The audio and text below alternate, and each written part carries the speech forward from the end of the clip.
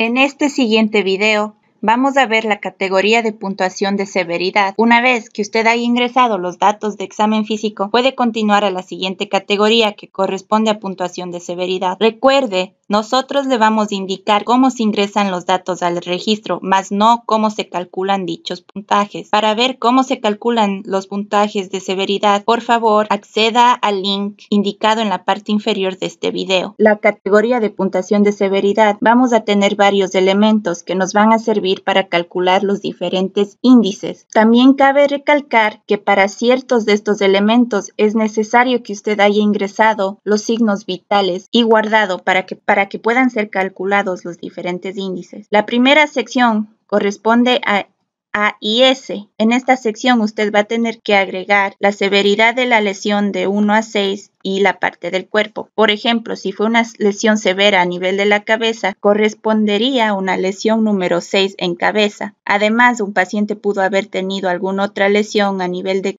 alguna parte del cuerpo, por lo que seleccionaría el puntaje de dicha sección. Y por ejemplo, si es que tuvo una lesión a nivel de tórax, que correspondía a una lesión Número 4. Una vez que ustedes hayan ingresado todos esos datos, el registro tomará en cuenta diferentes datos que usted ya ingresó previamente y al seleccionar calcular, se calculará el ISS o Injury Severity Score. Además de esos dos, también puede calcular el RTS o Revised Trauma Score. Para poder calcular el RTS, usted tendrá que seleccionar la fecha en la que ingresó los signos vitales. Por ejemplo, en este caso, seleccionamos la fecha y hacemos clic en calcular y automáticamente se calcula el RTS, así como se autopopulan los campos de presión sistólica, frecuencia respiratoria y Glasgow Gamma Scale. Tomando en cuenta ciertos elementos de los signos vitales, también se podrá calcular el Kampala Trauma Score, así como el tris contuso y el tris penetrante. Con eso terminamos esta sección de puntuación de severidad.